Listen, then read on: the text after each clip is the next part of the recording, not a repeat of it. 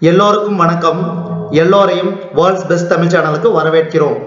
இந்த காணொளியில் நாம் பார்க்கவிருப்பது நீர் நெருக்கடியை எதிர்கொள்ள தமிழக அரசு என்ன செய்ய வேண்டும்? நீர் நெருக்கடியை எதிர்கொள்ள தமிழக அரசு என்ன செய்ய வேண்டும்? அதாவது இந்த கட்டுரை வந்து பார்த்தீங்கன்னா தி இந்து தமிழ் நாளிதழில் எடிட்டோரியல் பேஜில் வந்து வெளிவந்தவை. இதை வந்து இந்த கட்டுரை எழுதினவர் கே அசோக் வர்தன் ஷெட்டி. நீர் நெருக்கடியை எதிர்கொள்ள தமிழக அரசு என்ன செய்ய வேண்டும்? சென்னை மாநகரத்துக்கும் பிற நகரங்களுக்கும் தேவையான அளவு சுத்தமான நீரை வழங்குவது ராக்கெட் அறிவியல் அல்ல. இதை சாத்தியமாக்குவது கொள்கைகளும் தொழில்நுட்பங்களும் தான். கடந்த முப்பது ஆண்டுகளாகவே இதை நாம் அறிந்திருக்கிறோம். இருந்தும் இலக்கை ஏன் நம்மால் அடைய முடியவில்லை? நீண்டகால திட்டமிடலை மறந்துவிட்ட நிர்வாக அமைப்புகள் பலவீனமான அரசியல் மன உறுதி ஒழுங்குமுறைகளை திறம்பட செயல்படுத்த இயலாமை வழங்குதல் மற்றும் தேவை மேலாண்மை இரண்டுக்குமான முக்கியத்துவம் பொதுமக்களிடம் போதிய விழிப்புணர்வை ஏற்படுத்துவதில் தோல்வி என்று அதற்கான காரணிகளை வரிசைப்படுத்தினால் பட்டியல் நீண்டு கொண்டே செல்லும். அதாவது சென்னையில் சென்னையின் சராசரி ஆண்டு மழைப்பொழிவு சுமார் ஆயிரத்தி நானூறு மில்லிமீட்டர். தொடர்ந்து இரண்டு ஆண்டுகளாகவே வறட்சி மட்டுமல்லாமல் இரண்டாயிரத்தி பத்தொன்பதில் தொடர்ந்து இருநூறு நாட்களுக்கும் மேலாக ஒரு சொட்டு மழை கூட பெய்யவில்லை. இரண்டாயிரத்தி பத்தொன்பது ஜூன் மாதத்தில் சென்னையின் முக்கிய நீர்வளங்களான செம்பரம்பாக்கம் புழல் ஏரி பூண்டி சோலாவரம் ஆகிய ஏரிகள் முற்றிலும் வறண்டு போனதால் சுழிய தினத்தை அதாவது டே ஜீரோ சென்னை எதிர்கொள்ள நேர்ந்தது. இதுவரை சந்தித்திராத குடிநீர் பிரச்சனையில் சிக்கி சென்னையின் இயல்பு வாழ்க்கை வெகு வெகுவாக பாதிக்கப்பட்டது. அதாவது சென்னையின் முக்கிய நீர் வளங்கள் என்னென்ன செம்பரம்பாக்கம் ஏரி புழல் ஏரி பூண்டி ஏரி சோழவரம் ஏரி. அடுத்தது சென்னை எதிர்கொண்ட நீர் நெருக்கடி. சென்னை பெருநகரில் வாழும் எழுபத்தைந்து லட்சம் மக்களுக்கு சென்னை பெருநகர நீர் வழங்கல் வாரியம் நாளொன்றுக்கு சுமார் எட்நூத்தி முப்பது மில்லி லிட்டர் குடிநீர் விநியோகிக்கிறது. இந்த மொத்த அளவில் சென்னையின் நான்கு நீர்வளங்கள் மற்றும் வீராணம் உள்ளிட்ட மேற்பரப்பு நீரின் பங்கு அறுபத்தைந்து சதவீதம் நிலத்தடி நீரின் பங்கு ஒன்பது சதவீதம் கடல் நீர் சுத்திகரிப்பு நிலையங்கள் நிலையங்களின் பங்கு பதினாறு சதவீதம் மறுசுழற்சி செய்யப்பட்ட கழிவு நீரின் பங்கு பத்து சதவீதம். அதாவது சென்னைக்கு எந்தெந்த வகையில் வந்து நீர் கிடைக்குதுங்கிறத பற்றி நம்ம இந்த பேராகிராஃப்ல பார்த்தோம். என்னன்னா அதாவது மேற்பரப்பு நீரின் பங்கு வந்து அறுபத்தைந்து சதவீதம் நிலத்தடி நீரின் பங்கு வந்து ஒன்பது சதவீதம் கடல் நீர் சுத்திகரிப்பு நிலையங்களின் பங்கு வந்து பதினாறு சதவீதம் மறுசுழற்சி செய்யப்பட்ட கழிவு நீரின் பங்கு வந்து பத்து சதவீதம். இரண்டாயிரத்தி பத்தொன்பது ஜூன் மாதத்தில் வழங்கிய நீரின் அளவு கிட்டத்தட்ட சரிபாதியாக குறைந்தது. வீராணமும் இரண்டு கடல் நீர் சுத்திகரிப்பு நிலையங்களும் இல்லாமல் போயிருந்தால் நிலைமை மோசமாயிருக்கும். மழைநீர் சேகரிப்பு சென்னையை சென்னையை சுற்றியுள்ள நீர்நிலைகளை மறு உருவாக்கம் செய்வது குறித்து மட்டுமே ஊடக விவாதங்கள் தங்கள் கவனம் செலுத்துவதில் சென்னையின் குடிநீர் சிக்கலின் முழுமையான சித்திரம் மறைந்து போனது. அடுத்தது நிலத்தடி நீர்மட்ட உயர்வு. நிலத்தடி நீர்மட்ட உயர்வு வெள்ளத்தடுப்பு போன்றவற்றுக்கு முன் சொன்ன இரண்டு முயற்சிகளும் பெரும் உதவி புரியும் என்பதிலும் அவற்றை தீவிரமாக முன்னெடுத்து செல்வது அவசியம் என்ப என்பதிலும் எவ்வித ஐயமும் இல்லை. ஆனால் பருவம் தவறிய மழை மழை பற்றாக்குறையால் ஏற்பட ஏற்பட்ட தீவிரமான நெருக்கடியை தீர்க்க இவை மட்டும் உதவாது. பருவநிலை சார்ந்திராத நீர்வளம். அது என்னன்னு பார்த்தீங்கன்னா இரண்டாயிரத்தி பத்தொன்பதாம் பத்தொன்பதாம் ஆண்டின் அனுபவம் நமக்கு ஏதாவது கற்றுத் தந்திருக்குமேயானால் அது தற்போதைய பருவநிலை மாற்ற காலகட்டத்தில் வெறும் மேற்பரப்பு நீரையும் நிலத்தடி நீரையும் மட்டும் சார்ந்திருக்க கூடாது என்பதுதான். அதாவது நாம வந்து நிலத்தடி நீரையும் மேற்பரப்பு நீரை மட்டும் சார்ந்திருக்க கூடாது. ஒவ்வொரு டைமும் பருவநிலை மாறும்போது அப்ப நாம புதி புதிதாக நீர் ஆதாரங்களை உருவாக்க வேண்டிய தேவை இப்போது உருவாகியுள்ளது. பருவநிலையை சார்ந்திராத நீர் வளங்களான என்னன்னு பார்த்தீங்கன்னா கடல் நீர் சுத்திகரிப்பு கழிவு நீர் மறுசுழற்சி ஆகிய இரண்டு முக்கியமான வளங்களின் பங்களிப்பை அடுத்த ஐந்து ஆண்டுகளில் மொத்த நீர் வளங்களில் குறைந்தபட்சம் முப்பத்தைந்து சதவீதம் வரை விரிவுபடுத்துவதிலும் அதை தொடர்ந்து தக்க வைப்பதிலும் கவனம் செலுத்த வேண்டும்.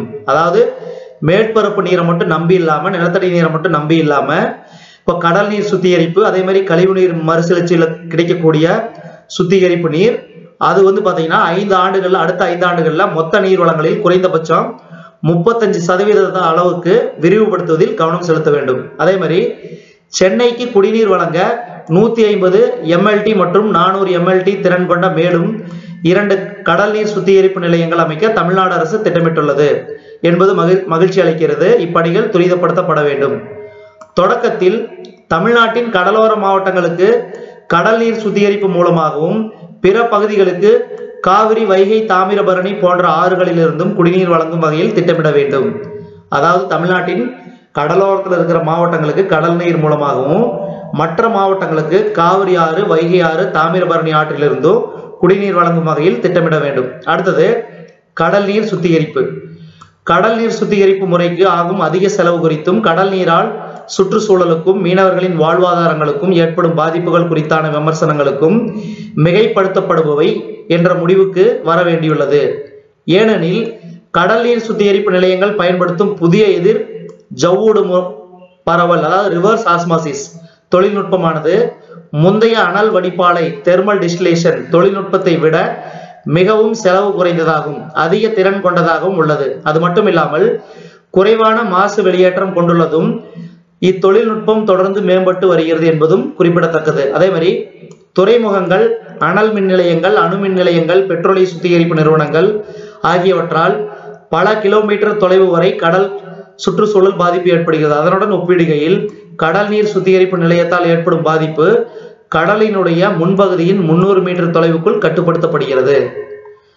கடல் நீர் சுத்திகரிப்பு நிலையம் வெளியிடும் உப்பு உப்பு நிறைந்த கழிவுநீர் கூட கரையிலிருந்து ஐநூறு மீட்டர் தொலைவுக்குள்ளாகவே வெளியிடப்படும். இது மீனவர்களின் வாழ்வாதாரத்தை பாதிக்கப் போவதில்லை. ஏனெனில் மீனவர்கள் கடலுக்குள் பல கிலோமீட்டர் தொலைவு சென்றே மீன் பிடிப்பர். உப்பு நீரின் உப்புத்தன்மையை சகித்துக் கொள்ளும் உணவு தீவன பயிர்களை வளர்ப்பதற்கும் மீன்களை வளர்ப்பதற்கும் ஆராய்ச்சி நடந்து வருகிறது. இதன் மூலம் உப்பு நிறைந்த கழிவு நீரை கடலுக்குள் செலுத்த வேண்டிய அவசியத்தை தவிர்க்க முடியும். அதே மாதிரி மறுசுழற்சி நீரின் பயன்பாடு. நாம் பயன்படுத்தும் தண்ணீரில் தண்ணீரில் சுமார் எண்பது சதவீதம் பார்த்தீங்கன்னா கழிவு நீராக மாறுகிறது. இந்திய நகரங்களின் ஒட்டுமொத்த கழிவுநீர் சுத்திகரிப்பு திறன் வந்து முப்பது சதவீதம். அதுவே சென்னை பெருநகரில் வந்து பார்த்தீங்கன்னா ஐம்பது சதவீதமாக இருப்பது ஓரளவு ஆறுதல் தரும் விஷயம். பலவீனமான கண்காணிப்புகள் காரணமாக தொழிற்சாலை கழிவுநீர் கூட ஒரு உரிய முறையில் சுத்திகரிக்கப்படாமல் ஆறுகள் ஏரிகள் போன்ற நீர்நிலைகளில் கொண்டு கலக்கப்படுகிறது. இதன் விளைவாக நீர்நிலைகள் மிகவும் மாசுபடுவதன் சுகாதார கேடுகளும் ஏற்படுகின்றன. எழுபது சதவீதம் நீர் கலப்படமாக இருப்பதால் இந்தியாவின் குடிநீரின் தரம் மோசமானதாக இருக்கிறது. அதாவது நம்ம இந்தியாவில் பயன்படுத்தப்படும் நீரில் வந்து பார்த்தீங்கன்னா எழுபது சதவீத நீர் வந்து கலப்படமாக இருப்பது. இது வந்து பார்த்தீங்கன்னா இந்தியாவின் குடிநீரின் தரம் மோசமானதாக இருக்கிறது. அடுத்தது இரண்டாயிரத்தி பதினெட்டாம் பதினெட்டாம் ஆண்டுக்கான உலக குடிநீர் தரவரிசை பட்டியலில் நூத்தி இருபத்தி இரண்டு நாடுகளில் இந்தியா வந்து நூத்தி இருபதாவது இடத்தில் உள்ளது. என்பது நமது சூழல் எவ்வளவு மோசமாக இருக்கிறது என்பதை உணர்த்துவதற்கு இதுவே உதாரணம். அடுத்தது கழிவுநீர் மறுசுழற்சி மற்றும் மறு உருவாக்கம் என்பது சுற்றுச்சூழல் சுகாதார காரணங்களுக்காக மட்டுமல்லாமல் பருவநிலையை சார்ந்திராத ஒரு முக்கிய நீர்வளம் என்ற அம்சத்திலும் முக்கியத்துவம் கொண்டதாக திகழ்கிறது. இந்த முறை கடல் நீர் சுத்திகரிப்புடன் ஒப்பிடுகையில் அதிக ஆற்றலும் திறனும் கொண்டது மட்டுமின்றி சிக்கனமானதும் கூட. சென்னை பெருநகரில் வெளியேற்றப்படும் கழிவுநீரில் வெறும் முப்பது சதவீதம் மட்டுமே மறுசுழற்சி செய்து பயன்படுத்தினால் கூட இருநூத்தி ஐம்பது எம்எல்டி தண்ணீர் கூடுதலாக கிடைக்கும். அடுத்தது உளவியல் தடையை போக்குவோம். பொதுவான குடிநீர் தரத்தை காட்டிலும் மறுசுழற்சி நீர் தூய்மையானது. வீடுகளின் மொத்த நீர் நீர் பயன்பாட்டில் அறுபது சதவீதம் நீர் சமையல் அல்லாத பயன்பாட்டுக்கானது. ஆனால் இதற்கு கூட மறுசுழற்சி நீரை பயன்படுத்துவதில் பொதுமக்கள் மத்தியில் உளவியல் சிக்கலும் ஒருவித தயக்க மனோபாவமும் காணப்படுகிறது. சிங்கப்பூர் இஸ்ரேல் போன்ற நாடுகளில் மேற்கொள்ளப்பட்டது போன்று இந்த உளவியல் தடையை வெற்றி கொள்ள இங்கும் அதாவது நம்ம ஊரிலும் மறுசுழற்சி நீரின் பயன்பாடு குறித்து பொதுமக்களுக்கான தொடர் விழிப்புணர்வு கல்வியை மேற்கொள்வது அவசியம். அதே மாதிரி தொழிற்சாலைகள் கட்டுமான பணிகள் தோட்ட தொழில்கள் புல்வெளி பராமரிப்புகள் விடுதிகள் மருத்துவமனைகள் பெரிய அடுக்கு குடியிருப்புகள் போன்றவற்றில் குடிநீர் அல்லாத தேவைகளுக்கு மறுசுழற்சி நீர் மட்டுமே பயன்படுத்தப்பட வேண்டும். அதாவது மிகவும் முக்கியமாக வந்து பார்த்தீங்கன்னா தொழிற்சாலைகளுக்கு கட்டுமான பணிகளுக்கு தோட்ட தொழில்கள் புல்வெளி பராமரிப்புகள் விடுதிகள் மருத்துவமனைகள் பெரிய அடுக்குமாடி குடியிருப்புகள் போன்றவற்றிற்கு பார்த்தீங்கன்னா குடிக்கிற நீர் இல்லாம மறுசுழற்சி செய்யும் நீரை மட்டும் பயன்படுத்த வேண்டும். அதே மாதிரி உலகளவில் வேளாண்மை தொழிற்சாலை வீடுகளுக்கான நீர் பயன்பாடு முறையே எழுபது சதவீதம் இருபது சதவீதம் பத்து சதவீதம் ஆகும். உலக அளவில் பார்த்தீங்கன்னா வேளாண்மைக்கு எழுபது சதவீதம் பயன்படுத்துகிறோம் தொழிற்சாலைக்கு வந்து இருபது சதவீதம். வீடுகளுக்கான நீர் பயன்பாடு வந்து பத்து சதவீதம் பயன்படுத்துகிறோம் இந்திய வேளாண்மைக்கான நீர் பயன்பாடு உலக சராசரியை விட அதிகமாக உள்ளது. மொத்தம் பார்த்தீங்கன்னா எண்பத்தைந்துலேருந்து தொண்ணூறு சதவீதம் வந்து வேளாண்மைக்கே நம்ம பயன்படுத்திட்டு வரோம். சென்னை பெருநகர பகுதிகளில் கூட வேளாண்மைக்கான நீர் பயன்பாடு எண்பது சதவீதமாக உள்ளது. ஊடக விவாதங்கள் வீடுகளுக்கான குடிநீர் பயன்பாடு குறித்து மட்டுமே கவனம் செலுத்துகின்றன. ஆனால் வேளாண்மை மற்றும் தொழிற்சாலைகளுக்கான நீர் பயன்பாட்டை குறைப்பதில் தான் நாம் முதன்மை கவனம் செலுத்த வேண்டும். நீர் பயன்பாட்டை குறைப்பதன் மூலம் கிடைக்கும் மின் சேமிப்பு கணிசமானது. இதன் மூலம் வெளியேறும் கழிவு நீரின் அளவை நம்மால் குறைக்க முடியும். அதே மாதிரி மாற்று நீர் மேலாண்மை அவசியம். மேற்ப மேற்பரப்பு நீர் நிலத்தடி நீரை வீணடிப்பது போன்ற திறனற்ற நீர் மேலாண்மையால் இந்தியாவில் அறுபது சதவீத பாசன நீர் வீணாகிறது. இதனால் வேளாண் விளைச்சல் ஒரு அலகுக்கு பயன்படுத்தப்படும் பயன்படுத்தும் நீர் அளவை குறிக்கும். நீர் முத்திரை அது பேர் வாட்டர் இம்பிரிண்ட் உலகின் மற்ற நாடுகளை விட இந்தியாவில் மிக அதிகம். நம்ம எந்த மாதிரி வந்து நீரை பயன்படுத்தணும்னா நுண்ணீர் பாசனம் சொட்டு நீர் பாசனம் போன்ற முறைகளை பயன்படுத்தி நீர் பயன்பாட்டை குறைத்து ஒரு ஒரு சொட்டு நீருக்கு அதிக விளைச்சல் பெறும் வண்ணம் விவசாயிகளை அரசு ஊக்கப்படுத்த வேண்டும். இந்த மாதிரி பயன்படுத்தும் போது நம்மளுக்கு வந்து நீர் தேவை வந்து கொஞ்சம் குறையும். அதே மாதிரி பார்த்தீங்கன்னா உற்பத்தி செய்ய அதிக அளவு நீர் தேவை ஏற்படும். அரிசி பருத்தி சர்க்கரை மாட்டிறைச்சி போன்ற வேளாண் கால்நடை உற்பத்தி பொருட்களில் பொதிந்துள்ள மறைநீரின் அதாவது வெர்ச்சுவல் வாட்டர் எக்ஸ்போர்ட்ஸ் அளவு இந்தியாவில் உள்ள அனைத்து தொழிற்சாலைகளிலும் வீடுகளிலும் பயன்படுத்தப்படும் நீரின் மொத்த அளவை விட நான்கு மடங்குகள் அதிகம். அதாவது அதிக நீரை உட்கொள்ளும் அதாவது அதிக நீர் தேவைப்படும். அரிசி பருத்தி சர்க்கரை மாட்டிறைச்சி போன்ற வேளாண் கால்நடை உற்பத்தி பொருட்களில் பயன்படுத்தப்படும் நீர் வந்து பார்த்தீங்கன்னா இந்தியாவில் உள்ள அனைத்து தொழிற்சாலைகளிலும் வீடுகளிலும் பயன்படுத்தப்படும் நீரின் மொத்த அளவை விட நான்கு மடங்குகள் அதிகம். எனவே அதிக நீர் தேவைப்படும் பயிர்களை விட குறைவான நீர் தேவைப்படும் பயிர்களை பயிரிடும் பயிரிடும் முறைக்கு நாம மாறணும். அதாவது தண்ணி வந்து எந்த பயிர் வந்து அதிகமாக உறிஞ்சுதோ அந்த பயிரை நம்ம பயன்படுத்தாம தண்ணி வந்து எதுல வந்து சேமிக்க முடியுமோ அந்த குறைவான தண்ணி வந்து யூஸ் பண்ணி நம்மளுக்கு வந்து விளைச்சலை தரக்கூடிய பயிர்களுக்கு வந்து நம்ம வந்து முக்கியத்துவம் தர வேண்டும். அதை வந்து அரசு வந்து விவசாயிகளிடம் வலியுறுத்த வேண்டும். அதே மாதிரி உணவு பயிர் அல்லாத பிற பயிர்களின் பாசனத்துக்கு மறுசுழற்சி நீரை பயன்படுத்தும்படியும் வலியுறுத்த வேண்டும். இது குறித்து ஒருமித்த அரசியல் கருத்து உருவாக்கப்படுவதும் அவசியம். தொழில்துறை பயன்படுத்தும் நீரில் எண்பத்தெட்டு சதவீதம் அனல் மின் நிலையங்கள் மட்டுமே பயன்படுத்துகின்றன. அதாவது தொழில்துறையில் பயன்படுத்தும் நீரில் வந்து பார்த்தீங்கன்னா எண்பத்தெட்டு சதவீதம் வந்து அனல் மின் நிலையங்களுக்கு பயன்படுத்தப்படுகின்றன. பொறியியல் துணி உற்பத்தி காகிதம் இரும்பு உற்பத்திக்கான தொழிற்சாலைகள் போன்றவை நீரை அதிகம் பயன்படுத்தும் பிற முக்கிய தொழில்துறைகள். இந்தியாவில் வேளாண்மை துறையை போன்றே தொழில்துறையிலும் நீர் பயன்பாட்டு திறன் உலகிலேயே குறைவு. தொழிற்சாலைகள் நீரை அதிகம் பயன்படுத்தப்படுவதுடன் நீரை மாசுபடுத்தவும் செய்கின்றன. கழிவு நீர் வெளியேற்றத்துக்கான சுழியின் அளவு ஜீரோ டிஸ்சார்ஜ் வழிகாட்டு விதிமு விதிகளை சமரசமின்றி நடைமுறைப்படுத்துவதுடன் தாமாக உற்பத்தி செய்தோ அல்லது அரசு அமைப்புகளிடம் கொள்முதல் செய்தோ தொழிற்சாலைகள் மறுசுழற்சி நீரை மட்டுமே பயன்படுத்த வேண்டும் என்று கட்டாயப்படுத்தப்பட வேண்டும். அதாவது தொழிற்சாலைகள்ல அதிகம் வந்து பயன்படுத்துகிற நீர் வந்து பாத்தீங்கன்னா ரொம்ப மாசு அடைஞ்சு வெளியில வருது. அதனால வந்து நிலத்தடி நீருக்கும் வந்து கேடு ஏற்படுது. அதனால வந்து தொழிற்சாலைகள்ல வந்து எந்த மாதிரி பயன்படுத்தணும்னா அந்த நீரை வந்து மீண்டும் மறுசுழற்சி செஞ்சு அதை வந்து மீண்டும் தொழிற்சாலைகள் பயன்படுத்தப்பட வேண்டும் என்று அரசு வந்து அவங்களுக்கு வந்து அறிவுரை சொல்ல வேண்டும். அதே மாதிரி கட்டாயப்படுத்தப்பட வேண்டும். அதே மாதிரி பார்த்தீங்கன்னா பல பெரிய நிறுவனங்கள் நீர் பராமரிப்பு மறுசுழற்சி முறைகளை கடைபிடிப்பதன் மூலம் நமது நீர் முத்திரை அளவை தற்போது வெகுவாக குறைத்து வருகின்றன. சிறிய நடுத்தர தொழில் நிறுவனங்களும் இதை பின்பற்றப்பட வேண்டும். அடுத்தது இலவச தண்ணீர் கூடாது. அதே மாதிரி இலவசமாக அல்லது அதிக மானியத்துடன் கூடிய நீர் விநியோகம் என்பது தொடர்ந்து சாத்தியமல்ல. ஏன்னா வந்து நாம் பயன்படுத்தும் நீரின் அளவு வந்து பாத்தீங்கன்னா மழை மழைப்பொழிவு வந்து வருஷ வருஷம் வந்து குறைந்து கொண்டே வருது. அதே மாதிரி நம்ம அதிகமா வந்து நீரை வந்து வீணாக்க கூடாது. அதனால வந்து இலவசமா கொடுக்கறதுக்கு பதிலாக அதே மாதிரி இலவசமா அல்லது அதிக மானியத்து கூட மானியத்துடன் கூடிய நீர் விநியோகம் என்பது தொடர்ந்து சாத்தியமல்ல. இதனால வந்து குடிநீர் வளங்களை போன்றே குடிநீர் தேவையும் முறையாக நிர்வகிப்பது அவசியமானது.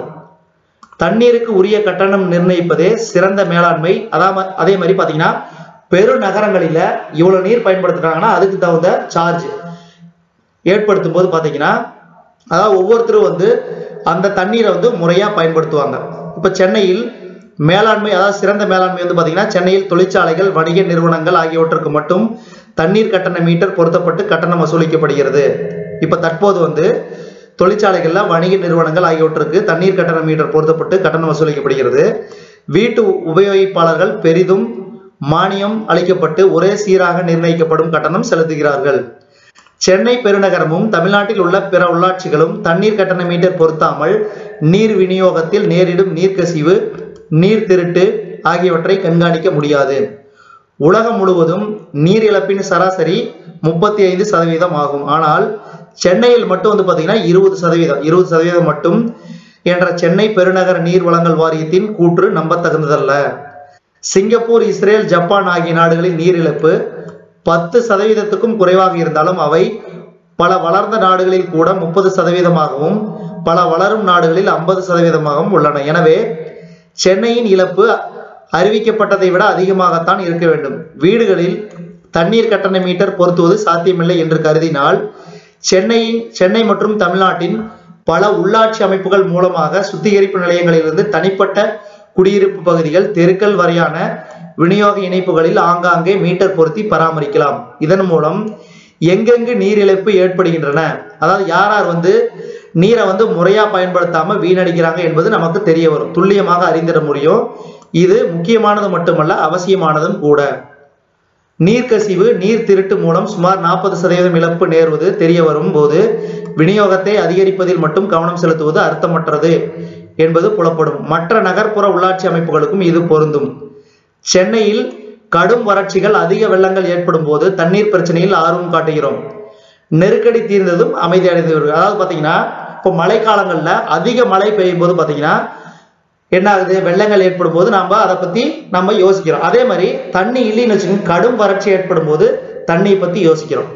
ஆனா நம்ம வந்து மற்ற நாட்கள்ல வந்து நம்ம யோசிக்கிறது நாம அதாவது வருடம் முழுவதும் நீரை பற்றி யோசிக்கும் போது அதில் வந்து அதிக கவனம் செலுத்தும் போது நம்ம நீரை வீணடிக்க மாட்டோம். நீரை பத்தின புரிதல் நமக்கு கிடைக்கும். அதனால வந்து எப்பவுமே வந்து நீரை எப்படி வந்து நம்ம வந்து தகுந்த முறையில் பயன்படுத்தணும் வீணடிக்க கூடாது. அதே மாதிரி சமீபத்திய நீர் நெருக்கடி நமது அதிகாரிகளை அதிர்ச்சிக்கு உள்ளாக்கி அவர்களுக்கு சிக்கலின் தீவிர தீவிரத்தை உணர்த்தி இருக்கும் என்று நம்பலாம். முன்கூறிய பரிந்துரைகளை கருத்தொற்றுமையுடன் திட்டமிட்டு நடைமுறைப்படுத்தும் போது சென்னையின் நீர் நெருக்கடியை எதிர்கொள்வது ஒரு பெரிய சவாலாக இருக்காது. இந்த கட்டுரை வந்து எழுதினவர் வந்து பாத்தீங்கன்னா கே. அசோக் வர்தன் ஷெட்டி ஐஏஎஸ் அதிகாரி ஓய்வு பெற்ற ஐஏஎஸ் அதிகாரி. இந்த கட்டுரை வந்து தி இந்து தமிழ் நாளிதழிலிருந்து எடுக்கப்பட்டவை. நம்ம சேனல் வேர்ல்ட்ஸ் பெஸ்ட் தமிழ் சேனலில் வந்து இதை வந்து நான் நான் வந்து தொகுத்து வழங்கியிருக்கிறேன். உங்களுக்கு இந்த காணொலி பிடிச்சிருந்துச்சுன்னா லைக் பண்ணுங்க கமெண்ட் பண்ணுங்க. மறக்காம இந்த காணொளி உங்களுக்கு ரொம்ப பிடிச்சிருந்துச்சுன்னா மறக்காம கமெண்ட் பாக்ஸ்ல தெரியப்படுத்துங்க. இது மாதிரி உங்களுக்கு கட்டுரை வேணும்னா அதாவது எடிட்டோரியல் பேஜில் இருக்கிற கட்டுரை வந்து தொடர்ந்து வேணும்னா நீங்க வந்து கமெண்ட் பாக்ஸ்ல தெரியப்படுத்துங்க. இல்ல எனக்கு வந்து பிடிக்கல அப்படின்னா வந்து நீங்க அதையும் தெரியப்படுத்தலாம். அப்ப அதுக்கு தகுந்த மாதிரி நான் வந்து தினசரி உங்களுக்கு வந்து இந்த மாதிரி எடிட்டோரியல் பேஜ்ல வரக்கூடிய கட்டுரைகளை நான் தொகுத்து வழங்கலாமா வேண்டாமா என்பது பற்றி நான் முடிவெடுப்பேன். அதனால் வந்து உங்களுக்கு இந்த நீர் நெருக்கடியை எதிர்கொள்ள தமிழக அரசு என்ன செய்ய வேண்டும் என்ற கட்டுரையை கே. அசோக் வர்தன் ஷெட்டி அவர்கள் அவர்கள் தான் இந்த கட்டுரையின் ஆசிரியர். இது வந்து த இந்து தி இந்து தமிழ்நாளிதழில் வெளிவந்தவை. இந்த காணொளி உங்களுக்கு பிடிச்சிருந்துச்சுன்னா லைக் பண்ணுங்க கமெண்ட் பண்ணுங்க. மறக்காம இந்த காணொளி உங்க நண்பர்களுக்கும் மற்றவர்களுக்கும் ஷேர் பண்ணுங்க. நம்ம வேர்ல்ட்ஸ் பெஸ்ட் தமிழ் சேனலை இது வரைக்கும் சப்ஸ்கிரைப் பண்ணலீங்கன்னா சப்ஸ்கிரைப் பண்ணிக்கங்க. கீழே இருக்கிற பெல் பட்டனை பிரஸ் பண்ண மறந்துடாதீங்க. நம்ம வேர்ல்ட்ஸ் பெஸ்ட் தமிழ் சேனல்ல நீர் நெருக்கடியை எதிர்கொள்ள தமிழக அரசு என்ன செய்ய வேண்டும் என்ற காணொலியை நம்ம வேர்ல்ட்ஸ் பெஸ்ட் தமிழ் சேனல்ல பார்த்தமைக்கு நன்றி.